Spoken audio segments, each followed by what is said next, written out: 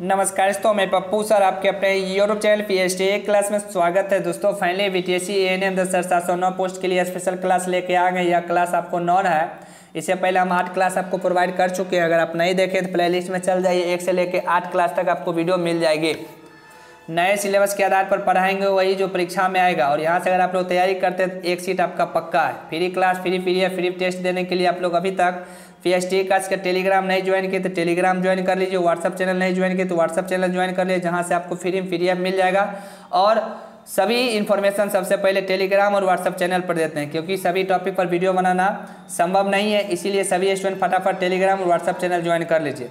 आप पचास परसेंट इस वीडियो में कवर करेंगे और आप लोग बताइएगा आपका पचास में कितना सही हो रहा है, क्योंकि निगेटिव मार्क भी है।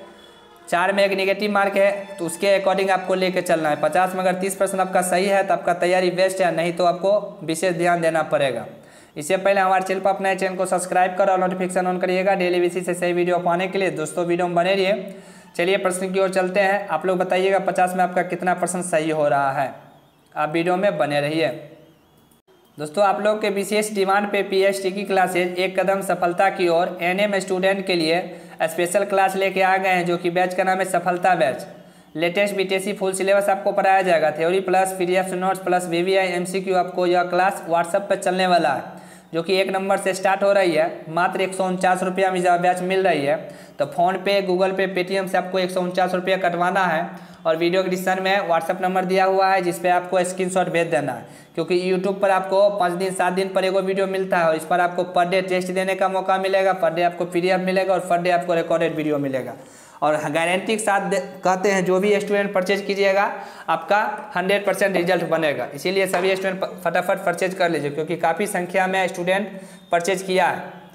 तो दोस्तों नंबर भी दिया हुआ, अगर आपको इंक्वायरी के लिए कुछ चाहिए तो आप कॉल भी कर सकते हैं। तो चलिए प्रश्न की ओर चलते हैं, जिसको भी परचेज करना है, आप लोग परचेज कर लीजिए। आज का पहला प्रश्न है, स्त्रियों की नसबंदी को क्या कहा जाता है? तो ट्यूब वैक्टोमी कहा जाता है। दूसरा प्रश्न गाय और भैंस के थनों में दूध उतारने के लिए किस हार्मोन की सुई लगाई जाती है? तो ऑक्सीटोसिन हार्मोन का। नेक्स्ट प्रश्न है थायरॉयड ग्रंथि से थायरोक्सिन स्रावित करने के लिए उत्तेजित करने वाला अंतस्रावी हार्मोन कौन सा है? तो टी एस एच हार्मोन है।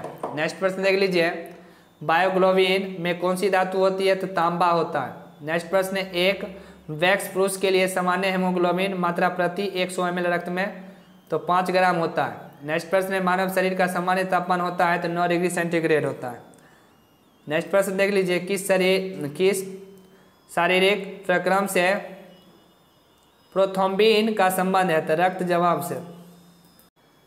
नेक्स्ट प्रश्न देख लीजिए, शरीर में सबसे बड़ी अंतस्रावी ग्रंथि कौन सी है? अप टू जिसको थायराइड ग्रंथि हम लोग कहते हैं। नेक्स्ट प्रश्न है, कौन सा हार्मोन, लरो या उरो हार्मोन कहलाता है? Andy नेलिन hormone.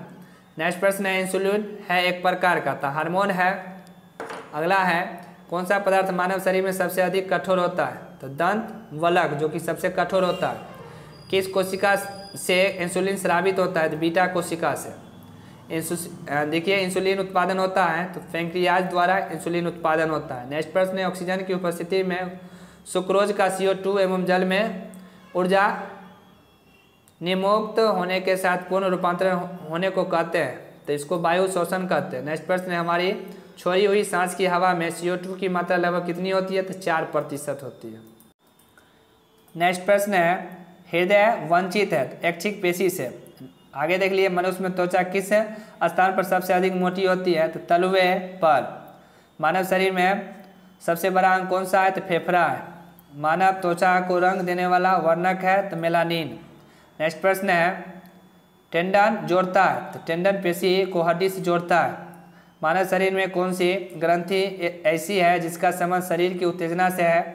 तो अतिवीर्य ग्रंथि, जो कि शरीर शरीर को उत्तेजना प्रदान करता है। अगला है, आदमी के कंठ से किस भाग को अपटो या उर्दर्ड एडम्स एप्पल कहा जाता है? तो थायराइड उपास्थि को।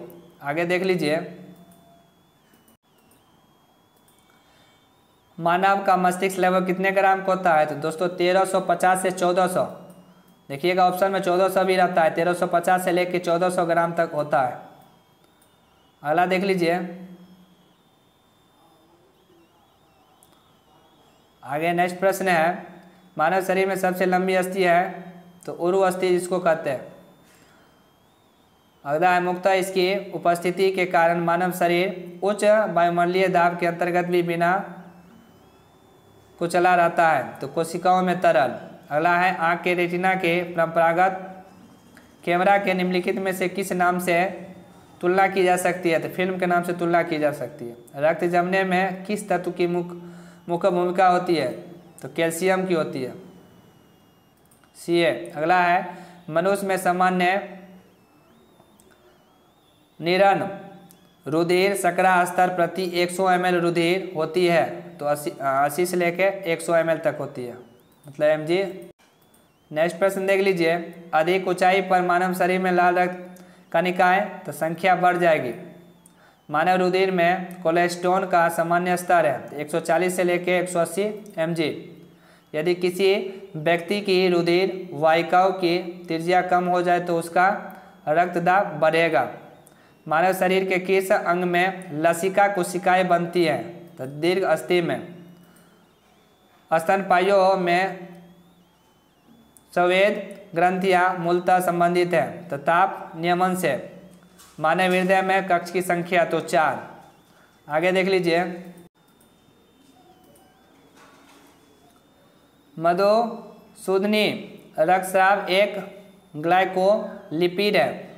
मानव शरीर में पैरों की हड्डियाँ, फिबुला एवं टिबिया नामक हड्डियाँ हैं। गर्भाशय के लिए वैकल्पिक शब्द क्या है? तो यूटरस है। यूटरस हेमोग्लोबिन की अधिकतम बद्धता होती है तो ऑक्सीजन के लिए। कौन सी ग्रंथि सेक्स हार्मोन का स्राव करती है? एंड्रिनल ग्रंथि।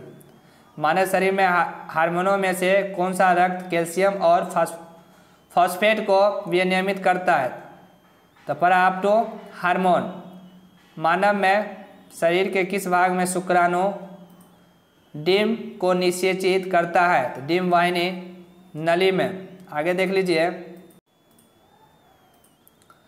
जब ब्रेक कार्य करना बंद कर दे तो कौन सा पदार्थ जमा होता है? तो रक्त में नत्र जनित अवशिष्ट पदार्थ जमा हो जाता है।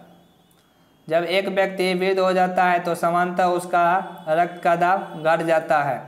मानव शरीर में पूछ कौन सी संरचना में संलग्न होता है। वेदांत में संलग्न होता है। किस प्रक्रिया द्वारा ऑक्सीजन शोषण के दौरान रुधिर में प्रवेश करती है और फिर से छोड़ती है? प्रसरण। कौन सा एक अंग वसा का वर्जन कर भंजन कर कोलेस्टेरॉल उत्पन्न करता है? यह कृत। सेरेब्रम किससे संबंधित? मस्तिष्क से। तो दोस्तों देख लीजिए, आठ मिनट में पचास को प्रश्न आपको कवर करके दिए, मात्र आठ मिनट में। देख लीजिए। तो आप लोग बताइएगा ये पचास में आपका कितना सही हो। ऐसा ही हम पाँच हज़ार प्रश्न के हैं, ऐसा ही हम पी बनाए हुए हैं। तो पर डे कहिएगा यूट्यूब पर तब ऐसे अगर वीडियो को 500 अगर आप लोग लाइक करते हैं तो पर डे हम यूट्यूब पर भी आपको प्रोवाइड करेंगे। तो दोस्तों आठ मिनट में पचास प्रश्न हम कवर किए। सोच सकते हैं, कितना स्पीड हम आपको पढ़ाएँ। बीच में कोई पढ़ाए के बीच में कोई डिस्टर्बेंस नहीं। और आप लोग पचास में कितना परसेंट सही होगा, आप लोग कमेंट करके बताइएगा। और चैनल पर नए चैनल को सब्सक्राइब करो और नोटिफिकेशन पर शेयर कीजिए और वीडियो को ज़्यादा से ज़्यादा अपने दोस्तों के बीच शेयर कीजिए। अगर आप लोग इस वीडियो को 500 लाइक करते हैं तो पर डे हम आपको 50 प्रश्न का वीडियो पर डे हम आपको प्रोवाइड करेंगे। मात्र आठ मिनट हमको लगता है, जो कि आप देखें। और ज़्यादा से ज़्यादा अपने दोस्तों के बीच शेयर कीजिए। Thank you